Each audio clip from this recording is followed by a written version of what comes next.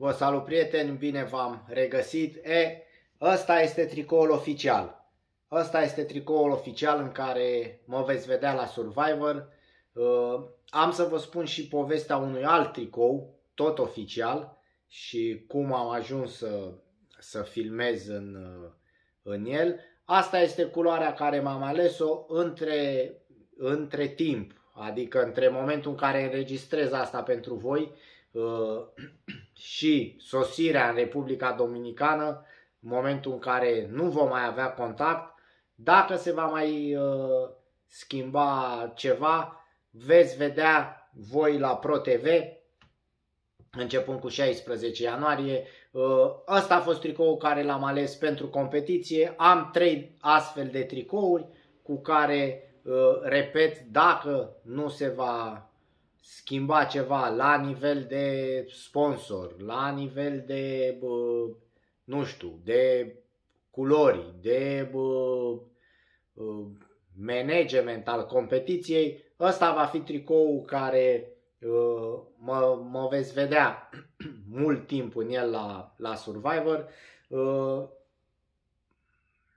și sper să am toată susținerea voastră ca să, să merg cât mai departe. Uh, am să încep prin, uh, prin a vă povesti uh, de ce tricoul ăsta, de ce un alt tricou care a fost ales de mine împreună cu, cu cei de la ProTV, cu producătorii show-ului pentru anumite momente din, din show și cum s-a ajuns să filmez în uh, tricoul echipei The Kong Vietel. Este echipa la, la care am jucat în Vietnam. Uh, tricou arăta ceva de genul ăsta. L-ați mai văzut că l-am mai prezentat. Da? Uh, așa. Uh, de ce tricou ăsta? Poate o să întrebați unii dintre voi și de ce nu tricou uh, rapidului, de exemplu. Uh, pentru că am luat legătura și o să discut uh, uh, în momentul în care voi veți vedea acest vlog deja discuția cu Lucian Ionescu, omul care se ocupă de foarte multe lucruri la Rapid, de, de muzeul clubului, de relația cu Uh, mass media, nu știu, un fel de ofițer de presă, purtător de cuvânt. Pe partea de media el este cel care, care menține legătura cu suporterii, cu ziariștii, cu cititorii și cu urmăritorii. Uh, în afară de lista cu, cu echipamentul, uh, care am primit-o de la, de la organizator, ce cuprinde lista ca să vă introduc așa un pic în, în atmosfera concursului, trei tricouri ca ăsta, o să vă prezint într-un, într-un, uh, într-un vlog, o să vă prezint și echipamentul, dar vă spun așa, acum să vă faceți o idee, trei tricouri, trei shorturi, uh, trei maieuri, trei traininguri, cu aici cu în paranteză uh, bluza de training poate avea și glug, adică să fie un hanorac, pentru că mai e, bate vântul și ți-e frig la urechi noaptea când dormi. 10 uh, șosete, 10 chiloți, uh, s-ar putea, s-ar putea o pelerină de ploaie, uh, o pereche de Adidas pe toată durata competiției în care să concurezi și să stai acolo Uh, trei ținute pentru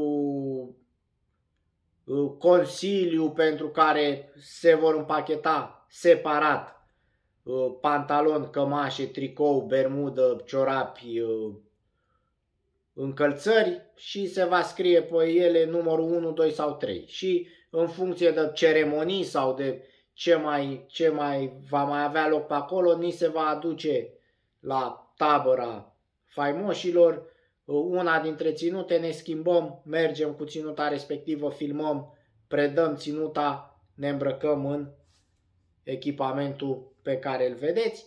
Uh, cam asta este absolut tot uh, cu ceea ce ai voie. Acolo, uh, poate o să întrebați unii, băi, stai bă, ai luat o razna că n-ai zis de prosop. Nu, prosop nu avem voie, gel de duș nu avem voie, săpun nu avem voie, nu știu ce mai sunt de astea așa de strictă necesitate. Gel de păr nu, periuță pastă de dinți nu, unghieră nu, ce să mai, spumă de bărberit sau bic sau așa, nu, adică ești chiar pe, pe supraviețuire, cu, cu hainele care v-am spus și cam atât. Am înțeles că vom primi un rucsac din partea organizatorilor în care să ne punem hainele astea și un sac de dormit. Pentru că cei care sunteți fani ai, ai emisiunii știți că la început dacă nu câștigi anumite probe, dacă nu bă, Uh, câștigi recompensele, se va dormi sub cerul liber.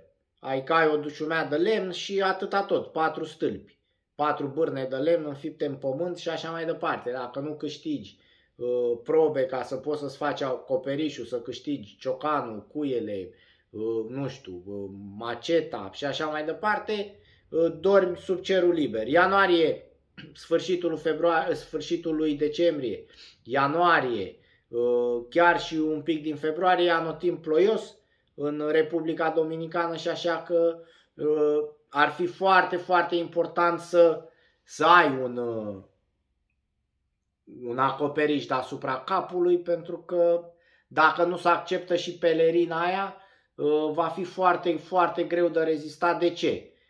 Trebuie să stai cu rucsacul ăla, cu sacul ăla care ni se va da, în brațe să nu plouă pe el, că Adică prefer să plouă pe tine și când se usucă, când se oprește ploaia, să ai în sacul ăla niște haine uscate, să te poți schimba. Ori dacă tu lași sacul în ploaie și plouă pe el, la revedere haine uscate. De-aia zic că ultimele discuții, dar încă nu ni s-a comunicat, era uh, ca organizatorii să, să ne accepte în bagaj și o pelerină. Uh, cam asta e uh, fără papuci, fără... Cam asta e ceea ce avem voie să avem în bagaj. Uh, din data de 16 ianuarie mă veți vedea împreună cu colegii mei la ProTV.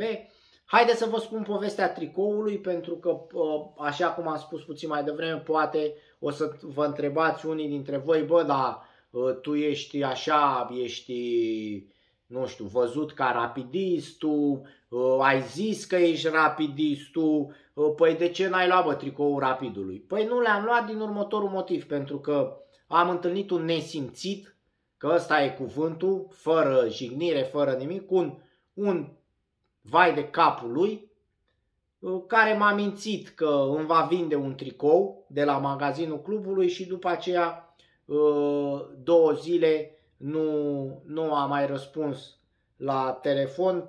Uh, astea două zile fiind și zilele când uh, trebuia să prezentăm echipamentul sau ceea ce ne, ne ceruseră organizatorii oficial.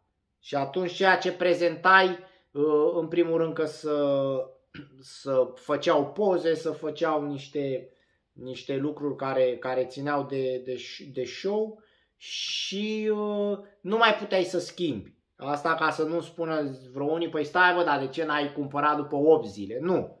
Deci ni s-a cerut să comunicăm și să venim să prezentăm, să fie aprobat uh, tricoul respectiv. Am luat legătura cu Lucian Ionescu și cu Lucian, voi deja în momentul când uh, mă veți vedea veți fi văzut deja vlogul cu el. Uh, mi-a dat un număr de telefon, Lucian Ionescu, v-am spus mai devreme cine este, mi-a dat numărul de telefon de la un băiat uh, de la magazinul Rapidului și mi-a zis, bă, iei legătura cu ăsta și să rezolvă. Problema care ar fi fost? Eu am, cred că 10-15 tricouri uh, de când jucam la Rapid. Problema este că nu, nu poate fi vizibil Uh, sponsorul care îl are pentru că sunt niște directive de la CNA, sunt niște reguli pe care trebuie să le, să le respecti. Și atunci tricourile care le aveam eu acasă erau cu Conex, erau cu Ladorna, uh, scria mare aici pe la gât Garman sau ce uh, firmă de echipament aveam la momentul respectiv. Uh, absolut niciunul nu era, nu era blank, cum să spune, nu era fără sponsor, fără bă, toate nebuniile astea. Și atunci am luat legătura cu Lucian Ionescu și am zis, băi Lucian, uite care-i treaba, am nevoie că uh, voi participa uh, la un proiect, pentru că nu era oficial în momentul respectiv, nu s-a anunțase. Uh, din punctul meu de vedere era totul bătut în cuie, uh, semnasem contractul absolut tot, dar uh, nu s-a anunțase în mass media și trebuia păstrat cât de cât uh, suspansul și secretul și atunci am spus în felul următor, băi Luciane, uite ajută-mă și pe mine că am de am particip în, uh, la un proiect și am nevoie de un tricou al Rapidului, contra cost, bineînțeles, uh, dar fără, fără sponsor și dacă se poate să nu fie foarte vizibil uh, firma de echipament, să nu fie logo-ul firmei de echipament. Care emblema Rapidului nu mă deranjează pentru că uh, e tricou de fotbal, dar nu trebuie să aibă sponsor. Și în aceleași condiții am nevoie să n-aibă să se vadă pe short pe spate sau pe undeva să aibă vreun sponsor, un short și o pereche de jampieri, contra cost. Mi-a zis omul, da, Robert, nicio problemă, uh, uite, ia numărul de telefon, sună la băiatul de la magazin și el, uh, el va rezolva. L-am sunat pe ăla, nici nu știu cum îl cheamă și nici nu, uh, că am scris magazin, uh, magazin rapid. L-am sunat, bună ziua, bună ziua, mă scuzați că vă deranj. Chiar mi-aduc aminte, l-am, uh, l-am sunat, eram la, când l-am sunat prima oară eram la volan în jurul prânzului, iar când am, l-am sunat a doua oară eram la, la shawarma, la shawarma care se numește la Dristor, o cunoaște toată lumea, shawarmeria aia de și la Dristor și peste tot, la Bucurobor. De ce la Bucurobor? Că avusesem, uh, îmi căutam uh, niște Adidas și în molul ăla de lângă fabrica Versa de la piața Bucurobor și mă lovise foamea rău și era după amiază ora 4-5 și zic bă bag o șaormă. Și m-am oprit acolo neștiind că, ne dându-mi seama că n-ai voie să mănânci înăuntru.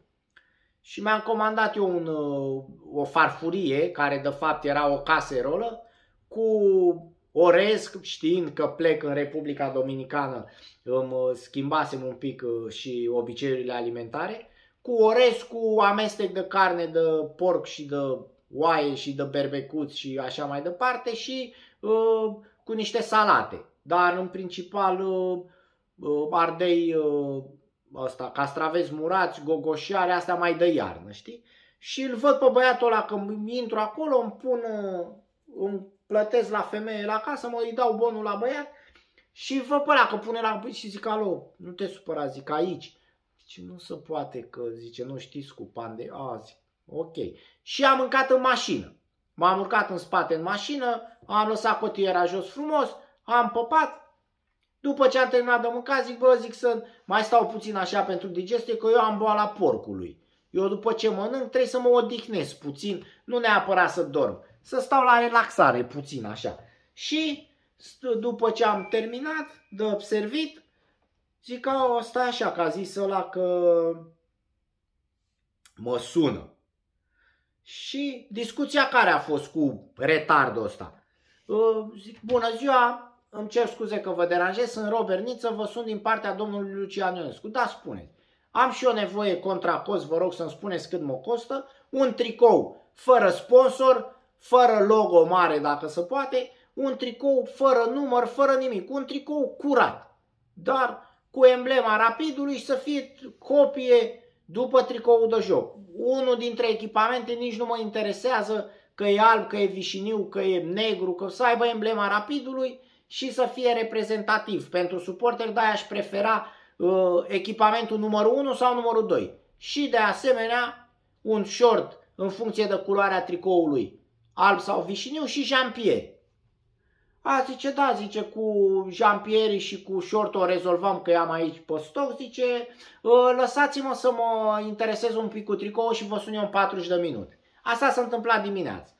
Ă, bineînțeles că n-a sunat, am revenit eu cu telefonul în jurul orei 4 sau 5 când m-a, lovit foamea și nu mi-a răspuns. Zic, bă, zic, ok, o fi omul ocupat, nu? Am mai încercat odată pe la șapte jumate seara, gândindu-mă că închide magazinul în, în jurul orei 8. Nu mi-a răspuns, pe, l-am sunat și pe WhatsApp și normal. L-am sunat și a doua zi, iar nu mi-a răspuns. Iar uh, seara uh, am mers la meci. Uh, pe Arena Națională juca Rapidul, am participat acolo și la, la emisiune, la, la Andy, la Rapid TV, înainte de înainte de meci, la meciul cu Fece Argeș Pitești. Am ajuns cu vreo două ore jumate înainte de meci pentru că era și emisiunea și bineînțeles că m-am întâlnit cu Lucian. Ce faci, Robert? Nu știu ce. Zic, fa... băi, Luciane, zic, ce e cu ăsta? Că am nevoie de tricoul ăla, că trebuie să-l prezint mâine și zic, nu mai îmi răspunde la telefon. Zice, bă, nici mie nu răspunde. Zic, bă, zic, cum e posibil că, bă, vin din partea ta, nu că sunt eu Robert Niță, zic, am și spus. Sunt Robert Niță din partea domnului Lucian Ionescu, că poate omul nu mă cunoaște. Că el, fiind un mincinos patologic, un, un atârnător la magazinul Rapidului, vă dați seama dacă a avut el tupeu să zică că mă sună în 40 de minute și pe urmă o zi jumate n-a mai răspuns la telefon. Vă dați seama dacă sună Nea Florică de la Suceava că e suporter rapid și vrea și el un tricou și vorbește cu cu bălălăul ăsta. Vă dați seama că de-aia și înjurăturile, uh, că am mai văzut, uh, mai ales că mă uit mult pe Facebook în ultima perioadă, înjurăturile la adresa conducerii, la adresa uh, echipei, la că tot să vaită cu magazinul. Ba că e închis, ba că nu găsesc, ba că nu... Deci dacă ăsta se ocupă de magazin, vă dați seama că e cam clară treaba de ce sunt înjurăturile respective și așa mai departe. L-a mai întrebat pe Lucian, la... zice, dar lasă, că îmi zice, îmi zice Lucian, zice, dar lasă că poate te întâlnești cu el pe aici. Aoleu, zic, Doamne ajută, zic, chiar aș vrea să-l cunosc pe ăsta, că cred că nici galeria nu-l scapă din, din uh, felicitările care o să le adresez, pentru că mâine dimineață, Luciane, la ora 9, uh, este ședință și trebuie să prezint tricoul. Și zice, bă, nu știu, dacă dau de el, zice, nici mie nu răspunde. Dacă dau de el pe aici, zice o să-i zic, să, ori să vină la studio, ori să te sune. Zic ok, mulțumesc. Bineînțeles că omul nu n-a fost prezent nici la meci sau nu fi dat Lucian de el. A rămas așa și am fost nevoit, m-am dus la, la ședință cu un troller cu absolut toate tricourile care le aveam. Uh, de la Rapid, de la Suceava este, iar ca o paranteză așa, de la Foresta Suceava este singura echipă la care am jucat și nu, nu am tricou de acolo. Și am scos uh, de la colecție uh, tricourile cu Rapid, inclusiv cel de, de campion cu cele trei campionate, dar la fel cu La Dorna. În momentul ăla La Dorna era sponsorul principal al echipei Uh, s-au uitat, le-au verificat cei de la cei care se pricepeau, nu știu ce departament e ăsta, și mi-a spus, bă, zice, singurul care, care ar fi, uh, și mai aveam unul la fel, identic, identic ca ăsta, uh, alb, pe alb. Zice, bă, la pal nu prea merge, că nu se vede cum trebuie, că luminile, că nu știu ce mi-a explicat el, zice, ăsta roșu. Bă, ăsta roșu. Uh, ironia sorții uh, face că ăsta e roșu cu alb și cu albastru, adică are roșu-albastru de la Steaua, alb-roșu uh, de la Dinamo, albastru-alb de la Craiova și Vișiniu nu are mai deloc. Are doar aici mai... Ăștia iar e o poveste frumoasă cu ăsta că nu știu dacă se vede aici pe spate. Nu se vede. Uh, ba da, să vede. Stați așa. Aici pe spate mi-au scris numele Nista. Nista. Și eu când am văzut ăsta, bă, sunteți nebun la cap cum Nista. Păi ce Nista? Eu sunt Nista? Și atunci au pus ăștia mai, că era tot așa, am văzut cu, cred că cu vreo 4-5 ore înainte de meci. Și atunci oamenii au pus dunga asta roșie și au scris corect, Niță. Nita, că ei așa spunea, așa acolo, așa se pronunță Nita. Nu ai ț, t, ă, ț, t, a, ai a, ni, ni, Nita. Ni, ni, ni, ni, iul ăla nu e un Nita, așa, un, din gâd aici cum vorbesc ei. Și atunci a zis, bă, ăsta roșu. Și am zis, bă, bă, ăsta e. ăsta roșu, ăsta roșu e, ăsta roșu îl, îl luăm.